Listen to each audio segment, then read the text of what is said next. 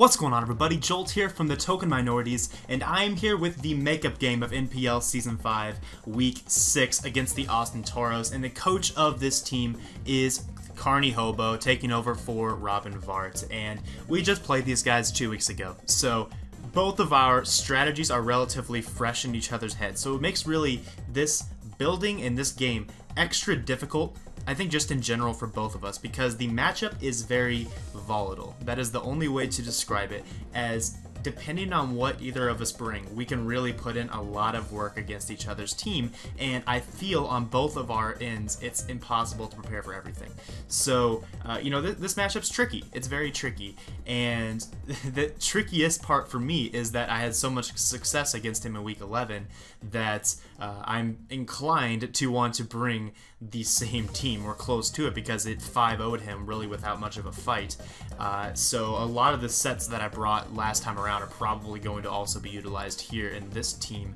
Uh, but, you know, just to go over briefly the matchup one more time in case you didn't see week 11 or you forgot what his team was. He is rocking Mega Scizor, Latios, Nidoqueen, Tangrowth, Florges, Arcanine, Hitmontop, Galvantula, Seismitoad, Braviary, and Greninja while my team is my week my uh, week six roster, which is a little bit different. So I'm rocking Starmie, Sylveon, Mega Venusaur, Darmanitan, Salamence again, Aerodactyl, Ditto, and uh, Lanturn, Piloswine, Bronzong, and Lucario. So that's the team I'm working with. Now the implications of this game. If I win this game, I am in the playoffs and I win my division. If I lose this game, I am not in the playoffs. so it's it's kind of an important game to say the least. But I don't know. It, it's it's going to be a tough game. I already mentioned the reasons why, but I think the matchup's really hard for me, especially to have to play them twice. I think obviously one time around I did very well against him the first time I played him, but once he has a feel for how I want to approach this team, it's very easy for him to counter that, and I felt like the approach I used last game was quite easily the best approach I could have possibly brought, and it's very hard to deviate from that. I did try, believe me, I did try, but everything I tried seemed to just get destroyed in practice battles. So uh, let's just go ahead and jump on over to the team I decided to actually bring here. Starting off with the Darmanitan, this is the exact same set as last time. It put in a nice sweep at the end of the last game, so no real reason to change it. I'm sure he'll prepare for it, but it's still really effective against him in general, so I have no real reason to change that up. And then next up is the Aerodactyl. This set I also brought last time, but I never had to, well, somewhat brought it last time. I also uh, never had to reveal it last time either, so I figured I could bring this lure again. Uh, this is essentially a Mega Scizor lure slash my counter to all forms of Braviary. The only issue being if Stealth Rocks are on the field, it's not particularly a counter, in which case I have no counters. I could bring something like Bronzong, I could bring something uh, like Lanturn to help deal with the Braviary, but the fact remains that neither of those really seem to be good enough for the rest of his team to be effective in the matchup, as they lost me a lot of momentum. He was able to set up on both of them relatively easily, I felt, with other members of his team. So I thought that Aerodactyl was the best way I could possibly approach this game. That said, if he does get up rocks, and if he is able to start spamming Brave Birds, there's not a whole lot I can really do outside of uh, let him wear himself down at a recoil. If you recall back to last week when I faced against uh, Aberforth's Scarf Staraptor, that was the only way I could beat it as well. I had to make it hit itself through recoil and then put it in range of priority or pursuit. And as you can see, I do have pursuit on this as well to help with that again. So it's it's kind of tricky. The EVs are also kind of cool here, as what I did here is I am outpacing a max speed Adamant Scarf Braviary as well as a max speed Greninja. I believe Braviary is a little bit faster with Scarf. I cannot, unfortunately, outspeed a Jolly Scarf Braviary unless I am Choice Scarf myself, but that's simply not worth it considering I don't want to be a setup fodder for Mega Scizor, hence the Berry with the Flamethrower. And this amount of investment allows me to always put a max HP Mega Scizor into range of my Lucario's close combat um, after taking a flamethrower. So that's the idea there. I don't want to have to lean on the inaccuracy of Blaze Kick, which I'll talk about here soon. Uh, and if I'm able to lure in the Lucario, or lure in the Scizor, get damage off with flamethrower, then that's pretty good for me. Then I have Pursuit for the Latios, as that's a pretty massive threat outside of Sylveon, and not just pretty massive, it's just an enormous threat. I do not want to deal with Latios if I don't have to. Uh, and Pursuit plus Sylveon hopefully will be able to take care of that. Stone Edge for obvious reasons, the Braviary, and Roost to make sure this is actually a counter. Uh, the defense investment allows me to survive certain hits from the Braviary as well, so that's pretty cool. And then we have the Lucario. This is just an adamant set. Outpaces max speed Nidoqueen. Uh, I believe that is correct. I don't think it's outspeeding any. Yeah, I think that's what I'm creeping on this. And the coverage here, I switched around a lot. I could have brought something like Earthquake to hit the combination of Nidoqueen Arcanine a little bit harder. I opted for Ice Punch instead of Earthquake as I really felt that I needed that extra check to Latios as I am running Thunder Wave on my Starmie, which we'll see here soon, and I feel I might actually need that as a backup essentially. Uh, but then I have E-Speed just to hit his fast things pretty hard. He has the Greninja with Torrent, which is really annoying to deal with and Latios as well. Just all these things he has are so hard to prepare for. And Blaze Kick, of course, for the Mega Scizor in close combat, which is pretty spammable against this team. And the Air Balloon, of course, I have to mention. I'm bringing Air Balloon because Sticky Web is a threat, and uh, this is also nice in case he brings Spike Stack Greninja, as I really don't deal with his Hazard Stack options very well with this particular team. Again, it just kind of goes back to what I'm actually expecting him to bring. I don't really expect Hazard Stack. He might bring Sticky Web, uh, but, you know, it's nice to have the Air Balloon, of course, for the Sticky Web, and spikes if he decides to bring that, but more importantly, Sticky Web. And this will allow me to have a nice all-around uh, Revenge Killer slash Wall Breaker to maybe put some holes in his team. So then we have the Sylveon, pretty standard spread here. I do have Hidden Power Fire to make sure Mega Scizor cannot set up on me for free. If it does set up, then the HP Fire Fire will guarantee put him in range of close combat from Lucario again, as well as in range of, I believe in range of Scald from Starmie as well, which is pretty nice for sure, and the rest is pretty standard there. My dedicated Latios counter and HP Fire was really the best way to use Sylveon otherwise. Then we have the Mega Venusaur, same exact set as last time. This is a uh, basically my switch into Nidoqueen, um, which eh, it's not the best switch into Nidoqueen either. That's the problem. I really wanted to run Giga Drain, but I could not fit it on this on this set. As if I run Giga Drain, HP Fire, Sludge Bomb with Synthesis, I am setup fodder for a bulk up Braviary, bulk up Spadef Braviary, which is what I anticipate him bringing if he does bring Braviary. And if he, let's see, if I run this set, then I can't hit Nidoqueen for anything harder than a Hidden Power Fire plus Leech Seed damage. So if he's like a Leftovers variant, maybe even an Assault Vest there, I guess Assault Vest I can handle pretty well, but if he's Leftovers, which is quite possible, honestly, then this is not great against Nidoqueen, as he's going to be able to switch in, get up his rocks or T-Spikes or whatever he's wanting to do, essentially for free, and all he really takes is a little bit of damage from Leech Seed minus Leftovers plus a Hidden Power Fire here and there. So it's not really the best response to Nidoqueen, but it's all I have. So uh, we're just going to have to deal with it. I could bring something like Bronzong, but he's going to pack Flamethrower for that almost certainly. I'm expecting Flamethrower, Earth Power, and Sludge, wa Sludge Wave, uh, but if he doesn't bring Earth Power, then my Air Balloon uh, Lucario can actually wall it pretty well, which is nice, but I do expect Flamethrower, unfortunately meaning that Bronzong is not a counter. Uh, so, you know, it's it's tough. It's tough. But uh, that's about all there's to say on this. This is also just nice for eating up hits from Galvantula and Greninja and such. And then we have this thing, the Starmie with White Herb. Again, I brought this set basically in week 11, but I'm running Thunder Wave instead of Grass Knot this time, as I don't really expect him to try to bring Seismitoad, as uh, it really wasn't too effective against me last time. He could still bring it, but I find it a little bit unlikely. Plus, the most common initial switch into Starmie is Greninja, so I do want to be able to Thunder Wave the Greninja and make my job a little bit easier, maybe take a little pressure off of Lucario to be around to extreme speeds. So uh, the defense investment here does allow me to always survive an Adamant Scarf, Braviary's Brave Bird from full health.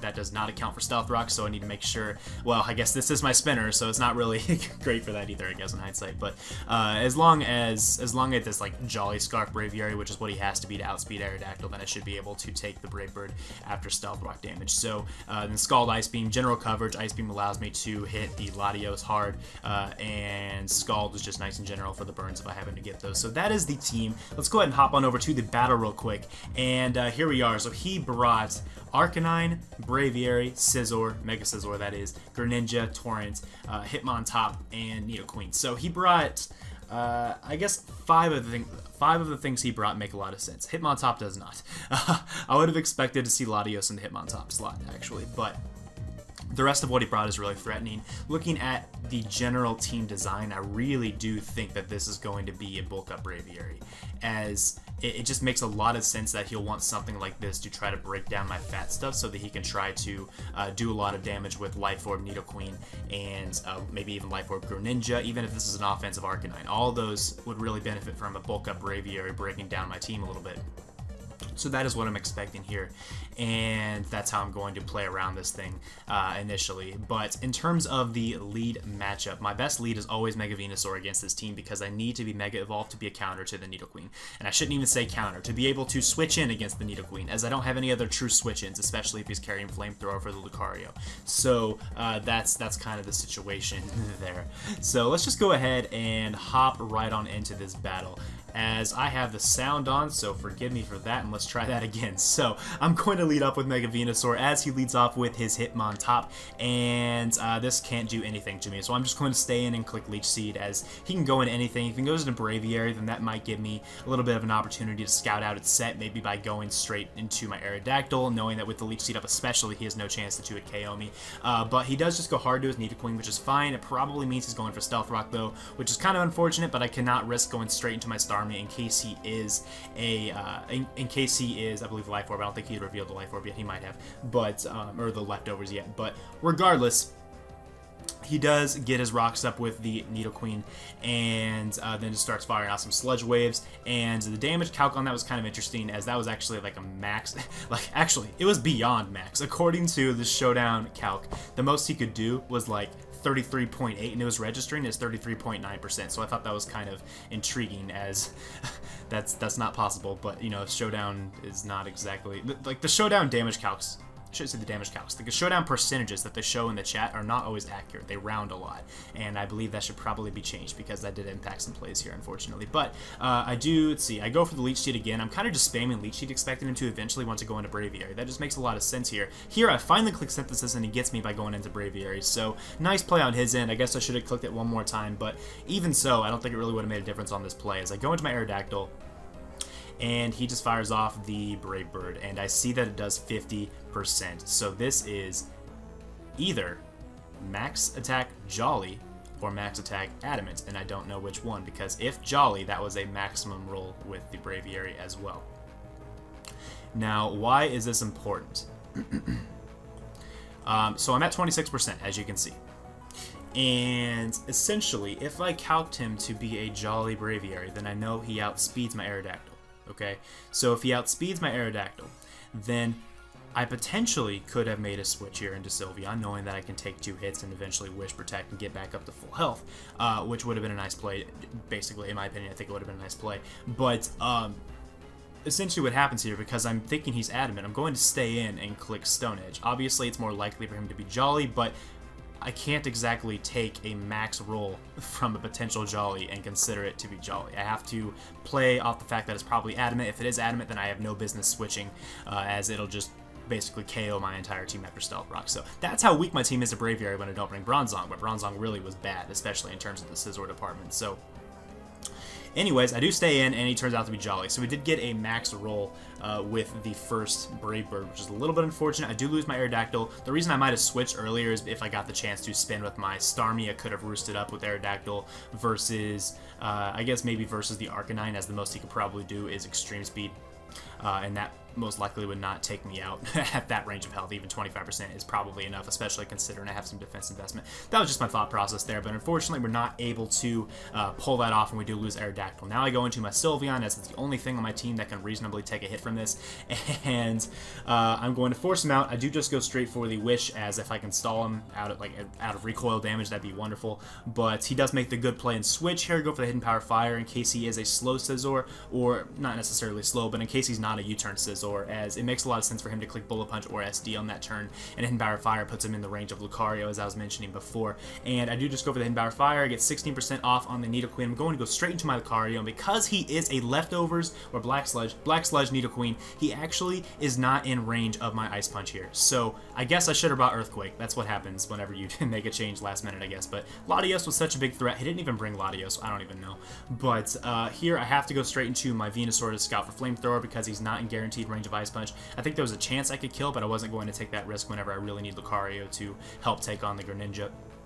Offensively. So I'm going to go straight into my Mega Venu, fire off a Leech Seed on the incoming Braviary, and hoping he goes for Brave Bird. He actually goes for U-turn. Hoping he goes for Brave Bird to go into my Sylveon so I can get more chip on him. He's playing with that Bra that Braviary really well, so you know props to him for that. But uh, I really didn't prep adequately for Scarf. But you can't, you literally cannot prep for everything with this matchup, and that's that's the problem. Uh, it's a very, it's a tough matchup for both of us. I wouldn't say it's a good matchup for either of us, but it's very tough. It requires some guessing essentially in the prep department and I kind of guessed incorrectly this week, unfortunately, and a very bad time to do it. Here I make a little bit of a potential misplay and going into my uh, Mega Venu, but it turns out I actually outspeed this thing, so I got really lucky on that for sure. Uh, that was not a smart play on my end to potentially sack this off, but fortunately I do outspeed this thing. I'm able to get myself back up to full health as here's my game plan. So here I am at 99%. Scarf or Scarf Jolly Braviary cannot OHKO me from this range, but I think he's still going to click it. So uh, if he clicks Brave Bird, I go for Sludge Bomb, he is actually going to take me down to about 5 to 10%, which unfortunately is in range of Stealth Rock, but I actually can heal up on the Nidoqueen and potentially on the Hitmontop as well. So that's not the worst thing in the world uh, if I'm brought down that low. I just need to get rid of Stealth Rock. So that, I'm thinking he's just going to click Brave Bird and put me in range of Stealth Rock. I thought that was his game plan. But uh, he, again, makes a really nice play and goes for U-turn. So Carnie's playing very well in this game. I cannot be mad about that at all as he's playing very well. And I go for the Sludge Bomb, as I said before, and it does nothing. If this were not a Black Sludge Nidoqueen, I'd be in great shape right now, honestly, because this thing would be super weakened in range of Lucario, and the combination of Lucario Venusaur could really start putting in a lot of work. But the fact that he's Black Sludge plus Scarf Braviary is just not something I prepared enough for, unfortunately. But, uh, let's see, here he goes into the uh, Scizor, as again I go for the Synthesis, knowing I need to be at full health to deal with the Braviary. And here I make somewhat of a misplay, maybe, I don't know. It, I can't really predict this thing to be slower than Megavinu, because it really doesn't require much speed in order to outspeed me, but it does make sense, kind of, that he wanted to be slower than me, but then again, like if I'm packing HP Fire, which I am, then that just I don't know. I expected him to be slower, or to be faster, go for U-turn into Braviary, and I hit him with the Leech Seed. I'm able to wall with the Sylveon again. But uh, he's slower than me, so this doesn't really work out too well, as I get a Leech Seed on, he's able to U-turn right on out, and that's uh, not very effective. So here he's into Braviary, and I'm forced to sack, uh, as I can't go Sylveon, as I need Sylveon to not lose to Greninja. Well, I guess that's not really the reasoning, but I can't really go Sylveon because I'll get 2 hit KO'd even with the uh, even with the Protect, so that's not really too ideal. And Venusaur wasn't really getting me very far in this game anyways, as the Nidoqueen was Black Sludge. So here, again, to make a couple interesting plays as, uh, well, he already saw him go for the Brave Bird and kill off my Starmie. So I go into Starmie, and I click T-Wave, as he's either going to stay in, click Brave Bird, or is going to go into Greninja. I don't expect him to switch into anything else, so T-Wave was my play, as if I go for T-Wave, and then I'm able to get a full paralysis on the following turn, I'll be able to get rid of Stealth Rocks, get rid of Braviary, and still have a Starmie alive. That was basically the game plan, as I'm very, very behind right now. Very behind.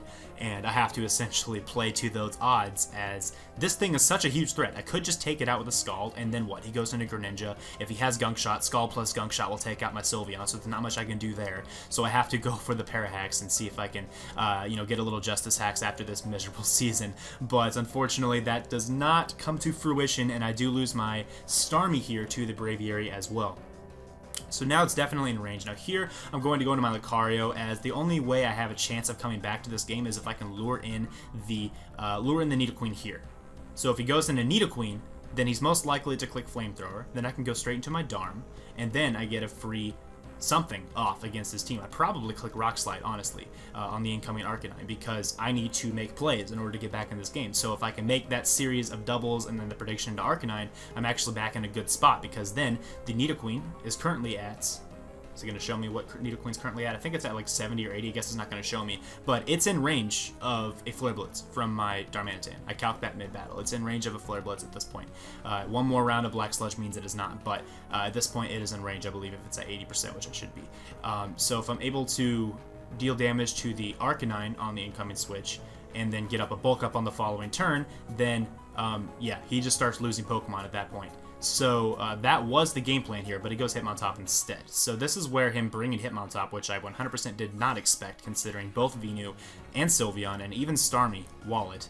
Uh, so I really don't understand the Hitmontop bring, but I guess it worked out pretty well for him here, as he's able to go into that and he's going to be able to force me out into my Sylveon as I'm not going to take a Mach Punch. Uh, I also want to maintain my Balloon just so I can switch into Nidoqueen decently well uh, if push comes to shove, but really I'm super behind right now, so it's really, really hard to get my, my foot set again, as now I pull the double, expecting the Nidoqueen, but it's too late because he's going to be able to get the Black Sludge recovery up to the point where he's not quite in range. I'm still going to go for Flare Blitz, maybe I'll get lucky and get a crit, maybe get a burn, but he does make the good play and switch here. I probably could have gone for the Rock Slide, but because he was uh, on the upper end of the range, I didn't want to risk him, I guess, staying in and killing me as uh, I wanted to go for it, basically. I just wanted to go for the kill there. Maybe I'd be able to get it before he gets out of range.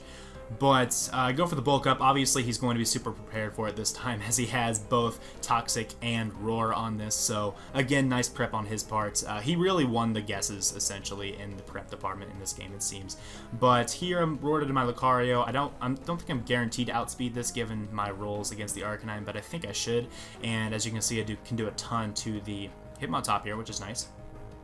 But again, I'm forced to switch out into my uh, into my Darmanitan, as I figured he'd pull a double into his Nidoqueen, expecting my Sylveon, which would basically net him a free kill, but he stays in, which I don't know if I really agree with that, but when he's this far ahead, I guess he really doesn't have to make predictions. I'm just trying to get him uh, to make those predictions that put me in a good spot, but here he makes a nice play. He goes into his uh, Arcanine. I don't really, I don't know, I don't, I don't know if it was the best play personally, because then if I just went for an attack, I could have gotten rid of this Arcanine, which would have made my job a lot easier, but uh, that's the play he made, so it worked out for him, and... Uh, now, let's see, now I'm going to Wish Up past to Darm, as that's essentially free at this point unless he roars, which he does. And I'm roared into my Lucario, which kind of sucks. But here I'm expecting the fire move. I don't think he's revealed his fire move yet, but it's either Flare Blitz or Flamethrower or Fire Blast, Fire Spin. I don't know what he's going to do, but I'm going to go into Sylveon anyways. Turns out to be Flamethrower, and uh, this, yeah, I, I eat it up, which is good, but I can't do anything. so, um, you know, I'm actually going to start speeding this up as it's really pretty trivial at this point from here on out. I'm just trying to get him to choke, and I cannot find my opening through the choke. So, uh, yeah, I guess I'll just go ahead and cut the narration there. So uh, this will be a loss, unfortunately, and the Toronto Staraptors will not advance to the Season 5 finals of the NPL, which is really painful to say, but I don't feel that it's because of this battle. Um, it comes down to the streak in the middle of the season, where I lost three in a row. It also comes down to Air Balloon, the Air Balloon scandal week three or whatever.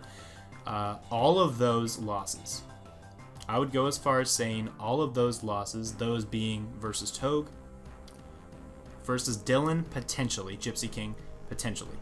Uh, he's very, very good late game, so I'm not going to say I guarantee would have won that game minus the hacks, but I was in a very good position considering what he said he would have done if I was not paralyzed with my Sylveon in that game. So there's two games I think I probably would have and could have won. Then there's the game versus Dallas, where I definitely I, I, say I definitely would have won based upon prep in that game. My prep was very good that game, and Venusaur got crit, and that was game essentially because Venusaur was so important. So there's three games I should have won, and then my game against Razor in week 10 or whatever, uh, I lost to Regigigas, and that's just a hack-based Pokemon. So again, I don't really consider that legitimate either. And I don't know, it's it's that combination, it's that combination of four games that put me in this position to where I had to beat this team that's so hard to beat twice.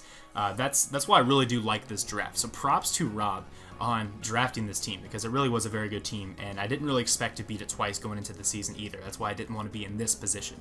I never want to play on the last week of the season to try to secure a playoff spot as it's just very very hard especially in this league because last last week you just saw against Aberforth it was hard for him to beat me twice because we both know each other so well by the second time around. Granted our teams changed a lot which did mitigate this effect a little bit but when you see this similar matchup twice in three weeks it's nearly impossible to win both unless you severely outplay your opponent or severely outprep your opponent I really wasn't in a position to outplay because of Carnie's prep this game. So, uh, again, full credit to him for the win. I'm not salty whatsoever about this game. I am upset over the sequence of events that happened in the middle of the season and week three.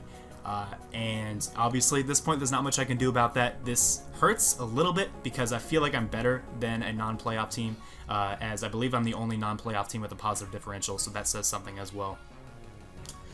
But it is what it is, and uh, I will enjoy, thoroughly enjoy my break from Pokemon here until Gen 7 comes out, as I have been craving that for quite a while. But during the off season for me, of course, I'm going to enjoy the playoffs as well and support all my friends who are playing here in the off season or the postseason rather.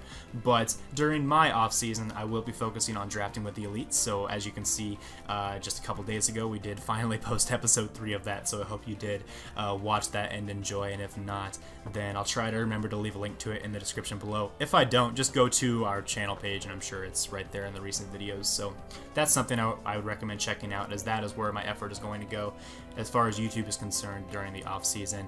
Uh, I might throw out another Smash video here or there, but you know there wasn't a whole lot of positive reception on the first one, so I might not really continue with that either, unless I just feel like uploading one for, for kicks. Um, but that's about all I have to say, I suppose. But thanks for watching and following me throughout the season. I know it wasn't really the type of season from me that many of my supporters have come to expect, and I do apologize for that. But I wanted to give a bulky offense to balance team, more bulky offense to even semi-stall to an extent, team one more chance in the format for Gen 6. As I know it's turning into a very offensive meta. Look at the team that Carnie brought. This is the definition of a team that works in this meta because it has some bulky stuff, but all of it can be used offensively as well. I have things like Mega Venusaur, which really struggles to be used offensively in this meta. It's good offensively against defensively oriented teams, but against I guess it's kind of good against offensively oriented teams, but its coverage really isn't cutting it uh, for me in this metagame. That said, that doesn't necessarily mean that that will also be the case whenever Gen 7 draft format comes out, which will be the generation that we're playing in for the next season of the NPL, and I will, of course, be returning as a coach then despite this miserable season for me. But um, you know, it is what it is. And uh, this this draft this season was kind of eh, not my favorite, probably my least favorite draft I've actually had. Uh, despite the fact that I really I, I found a liking for Darmanitan, so. Uh, I'm probably, I probably will be drafting Darmanitan in the future. Uh, and Sylveon is okay. I think Clefable is the fairy, the fairy of choice, and uh, I very well might draft Clefable again next time around. Just kind of depends on the team structure that I'm going for, which I'm already thinking about a little bit, admittedly. Starmie was also pretty cool, uh, pretty cool Mon to use this season as a nice spinner. Very reliable, I found. Uh, definitely a better Pokemon than people give it credit for, in my opinion, as it's really quite versatile, uh, despite the fact that it unfortunately cannot run physical moves outside of Rapid Spin uh, properly. But it's still a pretty good Mon. I wish its offensive capabilities like analytic sets were more viable. I think it would be more viable if my draft was more viable. I, I wish it was more possible for me to run offensive analytics Starmie on my type of team, but because I'm leaning on Sylveon Venusaur to keep my team afloat, I found myself having to run Natural Cure on Starmie and run more defensive sets to make sure I can spin and reliably be around to spin again later, as I'm having to switch so much with my team that it's really important to keep Starmie alive, so that's why I wasn't really able to bring too many offensive Starmie sets while I had it. Uh, but you know, you live and learn, and I have learned that in this meta, balance to very bulky, just very bulky balance is not the way to go. And uh, take my advice on that, all of you out there who might be wanting to try a draft like what I just had this season. It's not the way to go. At least against high level competition, it is not the way to go. I don't really know uh, how that might be in some other leagues, but in the NPL, not gonna work. so I will be adapting for next season for sure, and I'll be trying to more model what I put together in season four when I had a lot of success. So, yeah, I think that's all I really have to say in terms of a postseason talk. Uh, yeah, it stings a little bit still, as the battle really just concluded not too long ago. So it's it's very fresh, but uh, like I said, I'll enjoy my break. And thanks again for watching me this season, guys. And I'll see you all in season six, or I'll see you in drafting with the elite if you want to follow that. Uh, if you want to continue to listen to my sexy voice until the next NPL season, that's the place to find me. So we will see you there. Thanks again, guys, and have a good one. Peace.